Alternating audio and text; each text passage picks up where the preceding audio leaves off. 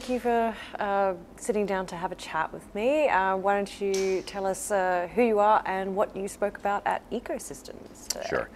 My name is Tom Raftery. I work for a software company called SAP. Uh, we develop pretty much what, what we call back-end software or ERP software, uh, which is software that is used typically by businesses.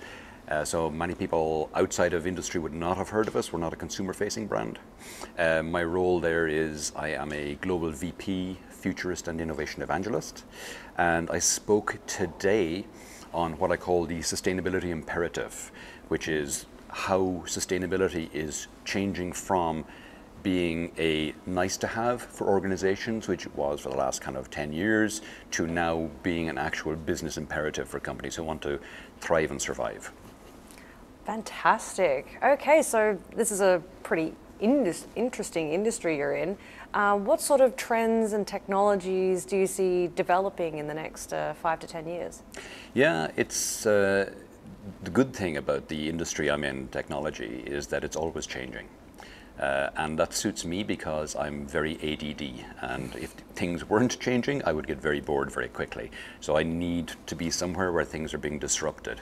So in, in the work I do, I concentrate a lot on where there is large disruption, places like the energy sector, places like aviation, transportation, um, the whole sustainability sector, for example.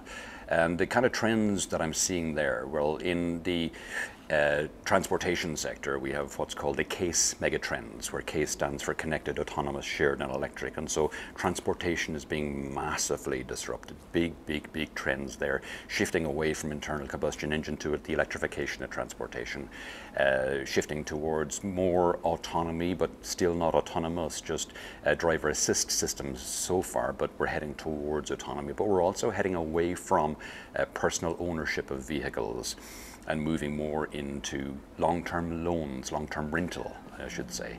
Uh, so where people, instead of buying a car, they rent one for three or four or five years and then give it back and then get another. Uh, and that, uh, that's, that as, as, we, as, we tend, as we trend towards that model, it means that the vehicle manufacturers maintain ownership of the vehicles. Uh, and so that means that there is no uh, desire or no incentive for the manufacturers to build in obsolescence. Quite the opposite. So it, it worked out to be quite a sustainable model. So that's, that's the kind of interesting technologies and trends that I'm seeing. Oh, fantastic. That'd be removing uh, built-in obsolescence is, a, is only a, a good thing. Exactly. Um, so what opportunities do you see uh, as a result of these different trends, and who do you think uh, will really be impacted by them? Yeah, so the, the opportunities are immense. So if we, if we think about the electrification of transportation, eh, it's a really interesting one because this is kind of counterintuitive, but the batteries in electric vehicles last forever, contrary to what many people think. They're not like the batteries that are in your phone or your laptop. Well, technically they are, but the way they're managed is completely different. Because when you plug in your phone at night time for it to charge, it just charges. There's very little management of the charging happening. But when you plug in a car to charge, there's a whole battery management system there, which makes sure that it, it charges at the right pace and at the right temperature so it doesn't get damaged. And so today, the batteries in vehicles uh, are rated to last about 350,000 kilometers, which is longer than the average lifetime of a European car. And the newer batteries that are being developed by Tesla, for example, uh, they have a rated lifetime now approaching millions of kilometers, about 4 million kilometers. Oh, wow. And so when you start to think about that, it changes completely what you would do because if you have a battery that can last the lifetime of 10 or 11 vehicles, why would you then manufacture more of them? Why wouldn't you just use it in 10 vehicles over their lifetime? So what you would do then, as we, as we talked about, we're shifting, to, we're shifting away from an ownership model. So now the vehicle manufacturers manufacture the battery, put a top on it, rent it out for five years, bring it back, put a new top on it, or just maybe swap out some of the components for newer, higher technology components, send it back out again for another five years. And so suddenly you're getting nearly new cars going out every five years using about a, a tenth of the materials that it takes to push out a new car. So an incredibly sustainable model. It's a really exciting time. And of course, what it means for us as consumers is that we can get a new vehicle with all the latest technology every five years for a fraction of the price and for a fraction of the sustainable, or sorry, the, the, the climate implications.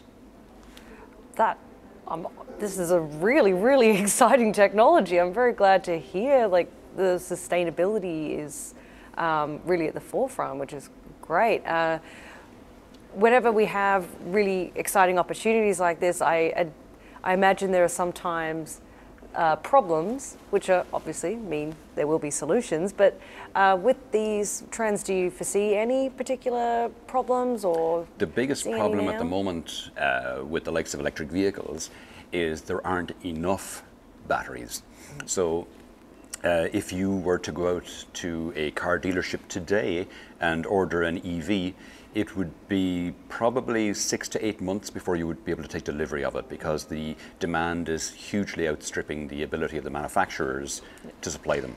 Because it, it's one of these things where the demand ramps up, then the manufacturers have to catch up to the demand, and then the suppliers to the manufacturers have to catch up, and then the suppliers to those suppliers, and they have to build mines to mine the lithium to make the batteries. You know, so you get the whole idea. So that's that's one of the big problems. Uh, is there today the manufacturers of EVs are demand uh, they're, they're supply constrained. They can't meet the demands that are out there. Okay, well, I really, really hope to see way more sustainability in the future. It's uh, where everyone should be headed, in exactly. my opinion. So thank you so much for sitting down to have a chat with us, and I hope you've enjoyed Ecosystem. I've had a great time. Thanks, Alex. Fantastic.